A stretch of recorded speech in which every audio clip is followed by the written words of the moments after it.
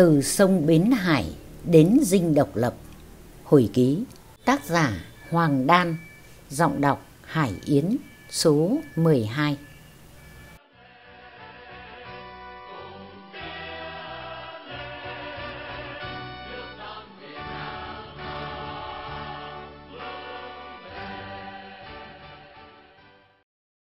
Hướng Đông bắt đầu tiến công vào chiều 26 tháng 4 tức tiến công sớm hơn các hướng khác hai ngày nhằm mục đích kéo địch sang hướng này tạo điều kiện cho hướng Bắc, hướng chủ yếu của chiến dịch, đột phá nhanh chóng vào trung tâm thành phố, đồng thời chiếm các căn cứ trên tả ngạn sông Đồng Nai và sông Sài Gòn, ngăn chặn địch rút ra biển. Bộ chỉ huy chiến dịch dự kiến hướng rút chính của chúng là theo đường sông ra biển, khả năng rút chạy về miền Tây cũng khó vì lúc này quân ta đã chiếm lộ 4. Rút bằng đường không thì phương tiện của chúng hạn chế và chúng ta cũng có nhiều khả năng phá hủy sân bay, cắt đường không. Đêm 26, cả hai sư đoàn đều tiến công có kết quả. Sư đoàn 304 chiếm được căn cứ nước trong, trường huấn luyện thiết giáp của địch. Sư đoàn 325 chiếm được quận lỵ Long Thành. 4 giờ sáng ngày 27, sở chỉ huy cơ bản chúng tôi di chuyển từ khu vực cạnh đường Xuân Lộc, Bà Rịa lên căn cứ nước trong thì đồng chí Ân, quyền sư trưởng sư đoàn 304 ra đón và yêu cầu chúng tôi lùi lại phía sau một ít vì tại đây đã có sở chỉ huy sư đoàn và tại sườn Nam căn cứ cách đây 400 mét ta và địch đang giao chiến. Chúng tôi cho xe lùi lại 500 mét và triển khai tạm trong rừng cao su. 8 giờ, địch còn cho phi cơ ra oanh tạc vào đội hình sư đoàn 304 và sở chỉ huy quân đoàn. Chúng tôi nhảy xuống một số đường hào xung quanh rừng cao su nên chỉ bị thương mấy đồng chí, không ai hy sinh. Nhờ có phi cơ địch thúc giục nên chỉ sau một giờ chúng tôi đã có hào ẩn nấp và các đồng chí công binh đẵn cây tại chỗ làm thêm được 3-4 hầm kèo. Trong ngày 27, sau khi nắm rõ diễn biến chiến đấu ở cả ba sư đoàn, kết hợp với việc liên lạc nắm tình hình quân đoàn 4 tiến công trên quốc lộ 1 về hướng Trảng Bom, thị xã Biên Hòa. Chúng tôi được biết do ta mới tiến công ở hướng đông nên địch chống trả quyết liệt, cố ngăn chặn ta tiến vào trung tâm thành phố. Trên hướng quân đoàn 2 cũng như quân đoàn 4, tốc độ tiến công đều bị chậm lại có sư đoàn gần như dậm chân tại chỗ. Sau này, khi kết thúc chiến tranh, nhiều đồng chí nghĩ rằng ta đánh vào thành phố Sài Gòn như đánh vào chỗ không người, địch không có chống cự gì. Tôi cần nói rõ là những đồng chí đó không nắm được tình hình cụ thể diễn ra trên chiến trường. Trong suốt quá trình tiến công, nơi nào ta chưa tập trung đủ lực lượng tuyệt đối ưu thế, đánh địch trên nhiều hướng cùng một lúc thì vẫn gặp sự chống trả mạnh của địch. Chiến sự diễn ra rất gay go, ta phải giành đi giật lại ở nhiều nơi. Quân đoàn 2 đột phá để cắt đường 1 bắc đèo Hải Vân, sư đoàn 3 tiến công Phan Rang, quân đoàn 4 tiến công Xuân Lộc. Và lúc này đây, ở ngay trước cửa ngõ Sài Gòn. Trong đêm 27 tháng 4, cũng đã có đồng chí nêu ý kiến cho binh đoàn Thọc Sâu, tức Lữ đoàn 203 tăng thiết giáp vào đánh ngay để mở đường thọc vào trung tâm Sài Gòn. Phân tích tình hình, chúng tôi thấy trong hai ngày 27 và 28, lúc các hướng chưa đồng loạt tiến công, nếu đưa thêm một lữ đoàn thì chỉ làm tiêu hao thêm lực lượng. Và nhất là khi thời cơ đến không còn lực lượng mạnh để thọc sâu. Vì vậy, chúng tôi chỉ lệnh cho sư đoàn 304 tiếp tục đột phá chính diện và trung đoàn 24 đánh vua hồi địch ở nước trong để bao vây chúng, mở đường cho chủ lực tránh nước trong đi thẳng lên Long Bình tiếp cận xa lộ. Lệnh cho sư đoàn 325 đưa một lực lượng bảo vệ đường để pháo binh nhanh chóng lên chiếm lĩnh trận địa ở Nhân Trạch. Bảo đảm bắn được vào Sài Gòn và sân bay Tân Sơn Nhất trong ngày 29 tháng 4 như mệnh lệnh và kế hoạch trên giao. Suốt ngày 28, Cuộc chiến đấu diễn ra ác liệt ở khu nước trong và nhơn trạch. Nhưng cho đến đêm thì cơ bản ta làm chủ được nước trong nhơn trạch bảo đảm cho sư đoàn 304 ngày 29 tiến đánh Long Bình và sư đoàn 325 đưa pháo binh lên Nhơn Trạch.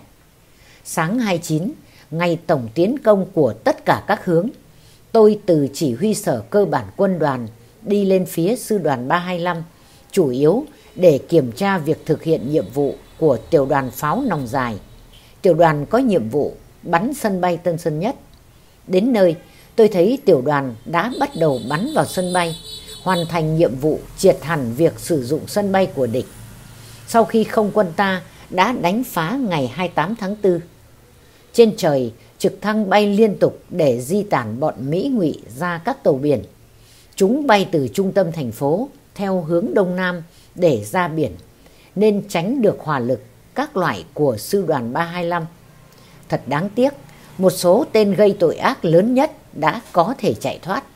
Bọn địch cũng biết chỉ có trực thăng thì không chở được bao nhiêu, nên chúng tổ chức thêm đường rút khác là theo sông Đồng Nai và sông Sài Gòn ra sông Lòng Tàu để ra biển. Bộ đội ta đã ở trên bờ sông, nhưng các loại pháo của ta còn ở phía sau. Chúng tôi chỉ có một tiểu đoàn pháo nòng dài ở nhân Trạch, nhưng lại thiếu thiết bị để bắn vào sân bay, nên không bắn xuống sông được. Nếu cho các đại đội pháo này di chuyển ra bờ sông, thì vừa có thể không kịp, vừa có thể không hoàn thành nhiệm vụ khống chế sân bay. Biện pháp cuối cùng đã được áp dụng. Chuyển cao xạ 37 ra bờ sông và trúc nòng bắn xuống sông. Việc bảo vệ pháo mặt đất trong ngày 29 thực ra cũng không cần thiết. Đoàn tàu địch hơn 60 chiếc bắt đầu đến, pháo cao xạ bắn, súng máy bắn, DKZ bắn và tiểu liên ta cũng bắn rất nhiều. Tôi hỏi một chiến sĩ, tiểu liên bắn thì ăn thua gì? Đồng chí đó trả lời, bắn cho khí thế.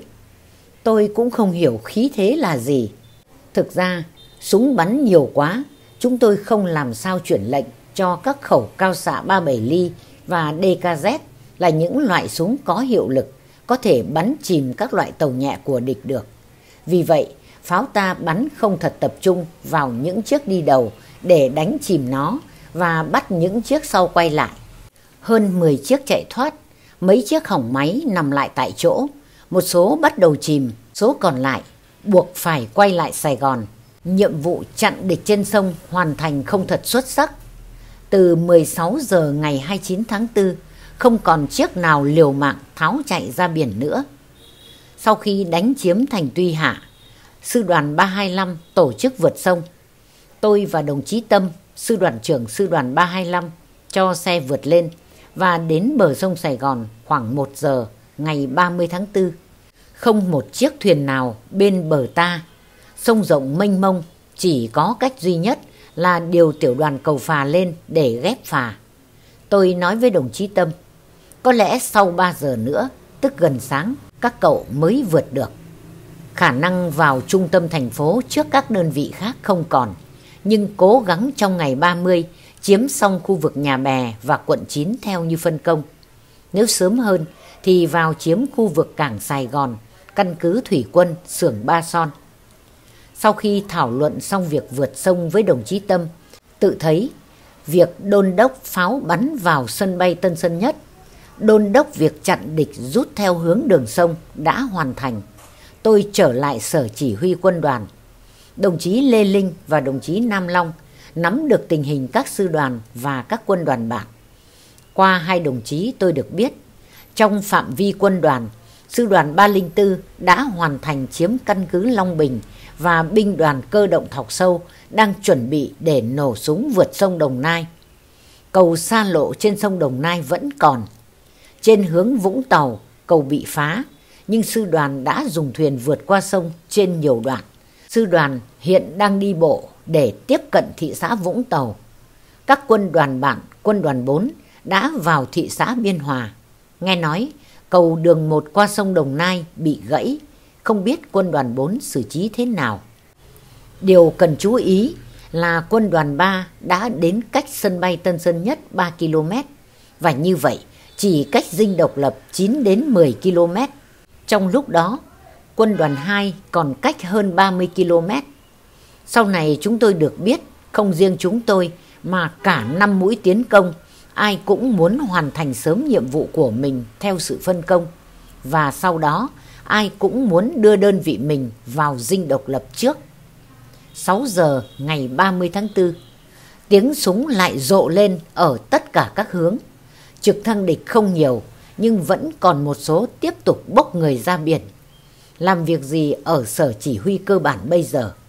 Tiếp nhận báo cáo sư đoàn để báo cáo lên trên và thông báo cho các sư đoàn tình hình các đơn vị bạn. Ngoài ra không biết làm gì hơn.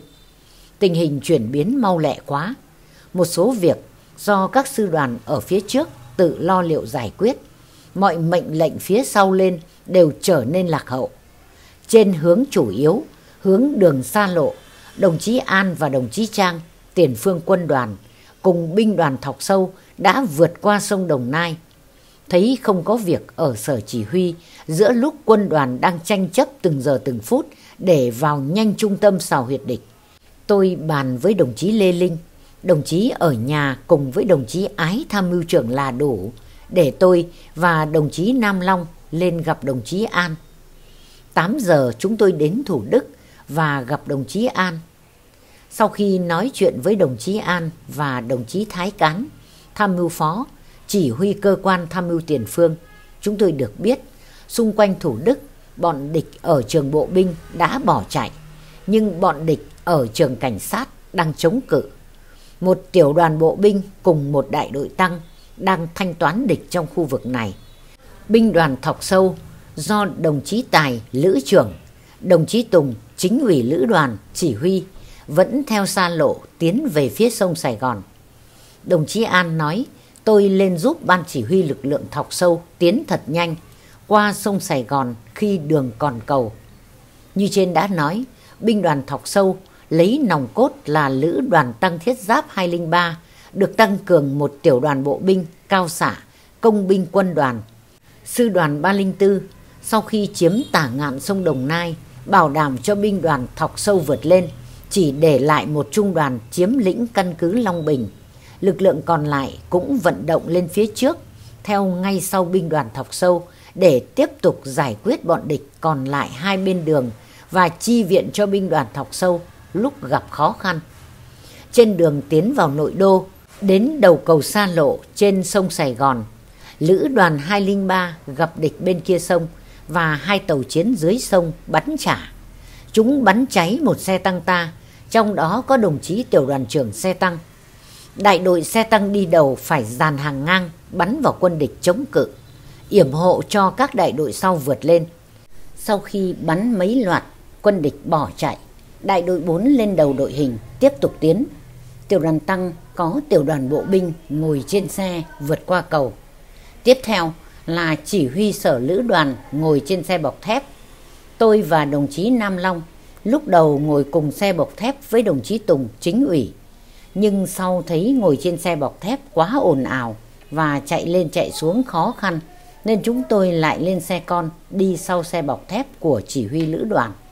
Sau khi vượt qua cầu Sài Gòn, cơ bản không còn địch chống cự và cũng như ở Đà Nẵng, nhân dân ra đầy hai bên đường để hoan hô bộ đội để xem bộ đội. Chúng tôi không có ai là người Sài Gòn, chưa ai biết gì các đường phố trong Sài Gòn. Với kinh nghiệm đã vào nhiều thành phố, thị xã, việc vào đánh dinh độc lập cũng không khó khăn gì. Với vài người dân nhiệt tình dẫn đường đi bằng mô tô phía trước. Cứ thế, chúng tôi đi thẳng đến dinh độc lập.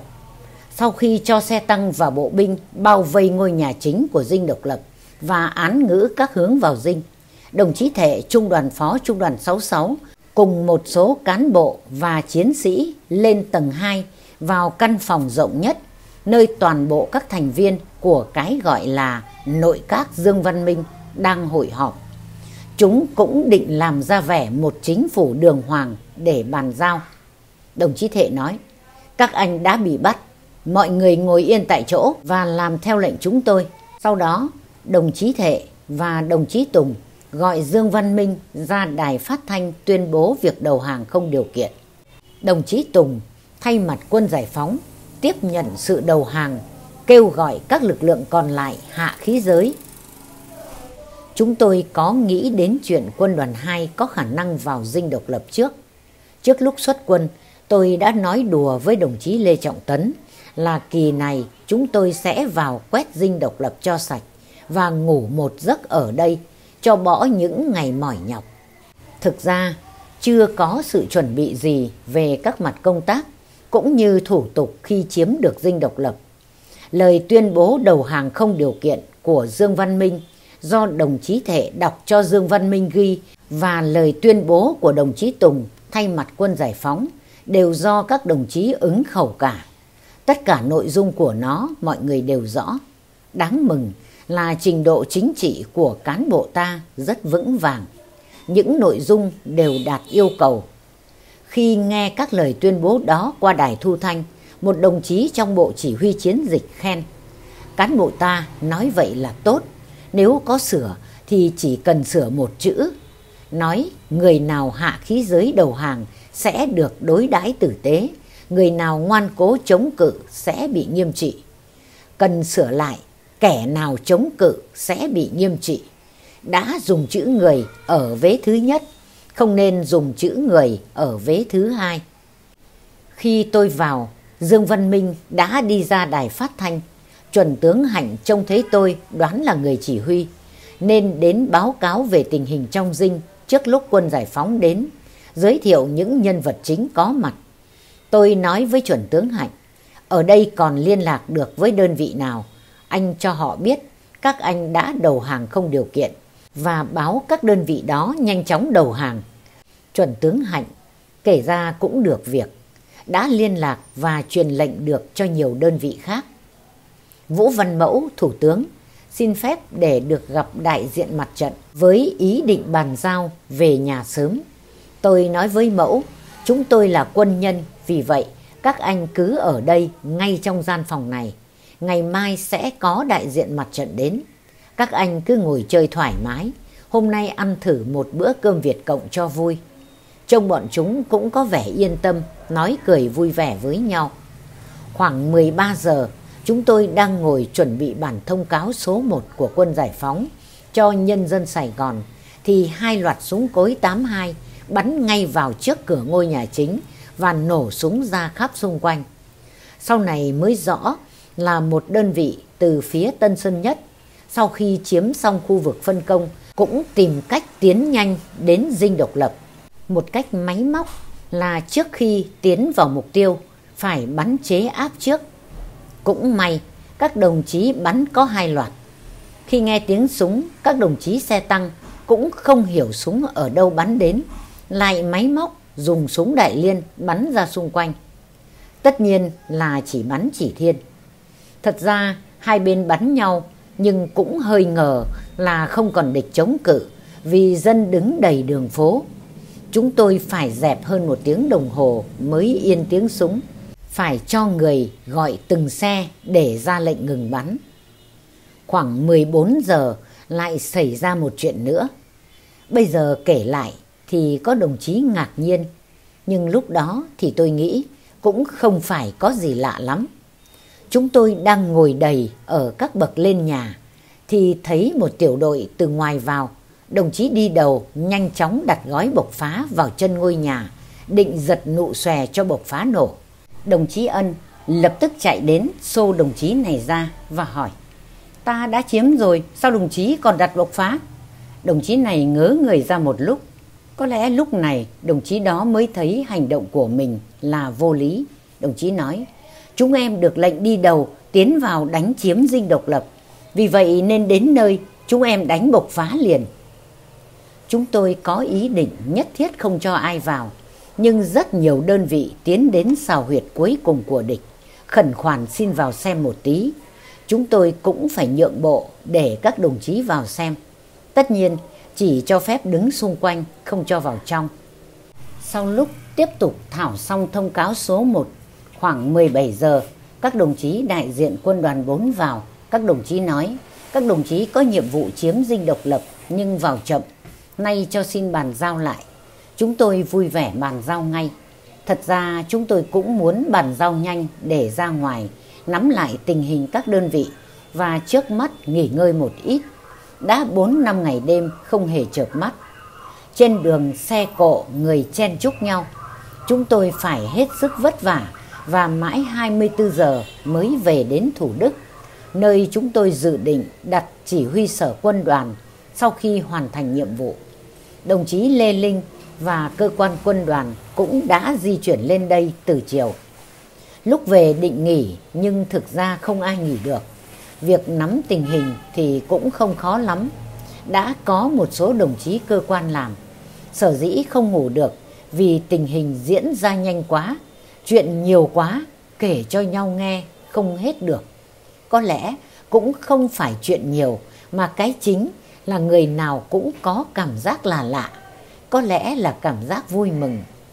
Nhưng lúc đó cũng không hiểu cảm giác gì. Ngồi nghĩ hết chuyện này sang chuyện khác. Nghĩ, không biết bây giờ anh em đang làm gì, có canh gác cẩn thận hay lại lơ là mất cảnh giác.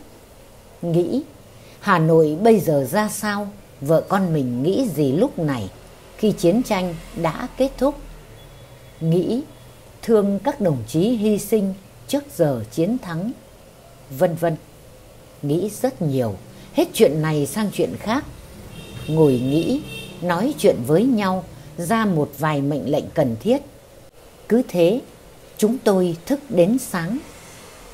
Con đường đến dinh độc lập thật là xa, từ sông Bến Hải, không phải từ khe xanh, cũng không phải từ khe xanh, mà từ những ngày đầu chống Mỹ, từ những ngày đầu chống Pháp thì đúng hơn. Rồi đây, tất nhiên còn nhiều việc để làm. Trước mắt, dầu sao cũng đã hoàn thành được nhiệm vụ cao cả nhất, đánh cho Mỹ cút, đánh cho ngụy nhào. Mời quý vị và các bạn tiếp tục theo dõi qua các chương trình của Win Win Việt Nam, phát vào 12 giờ 21 giờ hàng ngày. Win Win Việt Nam trân trọng cảm ơn quý vị và các bạn đã quan tâm theo dõi. Xin kính chào tạm biệt và hẹn gặp lại.